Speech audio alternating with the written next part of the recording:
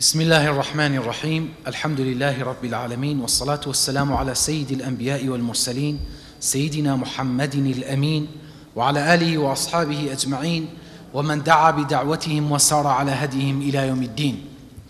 وبعد فإن علماء المسلمين في العراق كان لهم دور بارز في جميع مراحل التاريخ الإسلامي وكانت القيادة العلمية بأيديهم في كثير من الأحيان. فقد خرج من هذا البلد أعلام صاروا منارات علمية وانتشرت علومهم ومواهبهم في جميع البلدان الإسلامية. ومن هؤلاء العلماء الذين برز في العالم الإسلامي اسمهم وانتشرت صيتهم وظهر فضلهم العلامة المفتي محمد فيض الزهاوي. وإنني بفضل الله حققت في السنة الماضية كتاب المرحوم العلامة الشيخ محمد الخال باللغة الكردية عن حياة المفتي الزهاوي وطبع الكتاب والحمد لله وهذا هو الكتاب. وأحمد الله تعالى على أن وفقني لخدمة هذا العالم الكبير مرة ثانية بكتابة هذا البحث لمؤتمر الحركتين العلمية والفكرية في العراق في العصر الحديث. وقد حاولت في هذا البحث أن أبرز شيئا من الجهود, من الجهود التي بذلها المفتي الزهاوي لخدمة العلم والدين والآثار العلمية له ونبذة من عن أشعاره وفكره. فهو العلامة المفتي محمد فيضي ابن ملا أحمد ابن حسن بك ابن رستم بك ابن كي خسرو بك ابن الأمير بابا سليمان ابن فقي أحمد الدارشماني. فهو من الأسرة البابانية التي حكموا ولاية شهرزور لمدة طويلة. ولد العلامة محمد فيض الزهاوي في مدينة في مدينة السليمانية من أسرة كردية سنة 1208 الهجرية المقابل لسنة 1793 الميلادية. نشأ المفتي الزهاوي أيام الإمارة البابانية بالسليمانية وترعرع في أحضان والده ملا أحمد فدرس عنده القرآن الكريم ومبادئ النحو والصرف والفقه. ثم انتقل إلى مدارس كردستان العراق وكردستان إيران وتلقى العلوم الشرعية من خيرة علماء عصره. منهم الشيخ معروف النودهي والشيخ عبد الله الخرباني والشيخ محمد سعيد التختي المردوخي وأخوه الشيخ محمد قسيم المردوخي إلى أن أخذ الإجازة العلمية لدى الإمام العلامة ملا محمد المشهور بابن الرسول فأكمل عنده العلوم المدروسة والمواد المقروءة بالمدارس الدينية في هذا العصر وأخذ الإجازة العلمية عند شيخه هذا وكان عمره إذ ذاك عشرين سنة. ثم رجع المفتي الزهاوي إلى مسقط رأسه السليمانية كعالم متمكن من العلوم الإسلامية فبدأ بالتدريس وإفادة المسلمين واستمع حوله الطلاب ثم بعد مدة رحل من السليمانية إلى كركوك ثم سافر إلى بغداد واتصل بواليها علي رضا باشا. فرأى الوالي فيه شخصية ذكية لامعة واسعة الاطلاع وكان قد بلغه سابقا صيته في العلوم والآداب فدعاه إلى مدينة السلام بغداد ووافق على ذلك المفتي الزهاوي فاجتمع بعلماء بغداد وأدبائها وحل في قلوبهم محل سويدائها. قال الشاعر المعروف الأخرس عند لقائه بالمفتي الزهاوي حين وروده بغداد أرى في لفظ هذا الشهم معنى ينبئ عن مدى علم عظيم ومهما زدته نظرا بفكري رأيت نهاه قسطاس العلوم. عين المفتي الزهاوي في بغداد مدرسا في المدرسة السليمانية الواقعة في محلة الرصافة. فاشتغل بالتدريس فأفاد وأجاد ثم عين بعد ذلك رئيس المدرسين في بغداد وكان له قبول حسن عند رجال الدولة وعلماء بغداد وأدبائها. ثم, ثم وجه إليه منصب الإفتاء في بغداد في عهد الوالي رشيد باشا. وذلك بعد أن ارتقى المفتي السابق السيد محمد أمين أفندي إلى رتبة معاونية الوالي فصار مفتيا على مذهب الإمام أبي حنيفة في بغداد وكان المفتي الزهاوي شافعيا كأكرب كأغلب الأكراد. يعني كان مفتيا على مذهب الأحناف وهو نشأ نشأة شافعية في كردستان. وبهذه المناسبة هنأه الشاعر العراقي المعروف عبد الباقي العمري بهذه الأبيات. قد قيل لي إذ رحت أنشد عندما شاهدت دين محمد يتجدد في مذهب النعمان بالزوراء قد أفتى الإمام الشافعي محمد.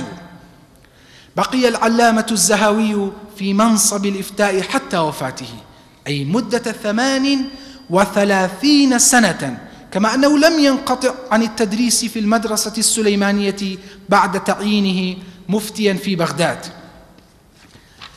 وبعد عمر مديد دام مئة سنة كاملة أي من سنة 1208 إلى سنة 1308 أمضاه في خدمة الدين ونشر العلم توفي العلامة المفتي محمد فيض الزهاوي ببغداد ودفن في مدرسته المدرسة السليمانية التي درس فيها لعقود. رحمه الله وأسكنه فسيح جناته. ورثاه كثير من الأدباء والفضلاء منهم السيد أحمد الراوي الواعظ فقال دفنوك يا كهف الورى تحت الثرى ويلي عليك وويل كل موحد. ما ضمت الغبراء مثلك ثاويا لا والذي هو عالم ما في غدي أبكيت كتب الدين دمعا بل دما وبكتك كتب السعد بل والسيد. ورثاه تلميذ السيد عبد الوهاب النائب مفتي البصرة بقصيدة طويلة أولها سأبكي على فيضي وتبكي الأفاضل وينعيه ناد للعلا والمحافل وتذرف عين المجد بعد وفاته دموعا مدى الأيام طل ووابل يعز على أهل العراق بأسرهم إمام إلى تلك المقابر راحل. كان العلامة المفتي محمد فيض الزهاوي من مشاهير علماء العراق ومن مراجع العلوم العقلية والنقلية صاحب باع طويل في علوم الحكمة والمنطق والجدل والفلسفة والهيئة والفلك والكلام وآراء المذاهب والأديان.